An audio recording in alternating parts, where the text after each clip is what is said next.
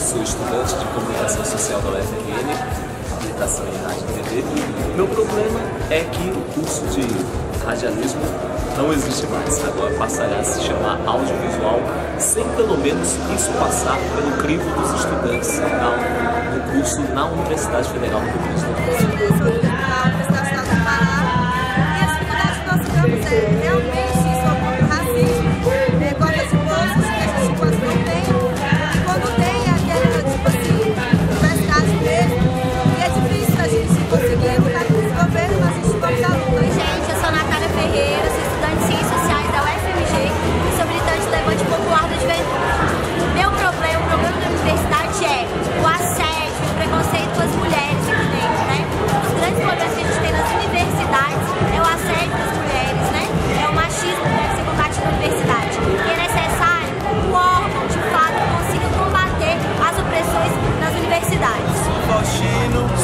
Universidade Federal do ABC, construiu a União da Juventude Rebelião, o movimento Correnteza. Estamos aqui no Congresso da Uni.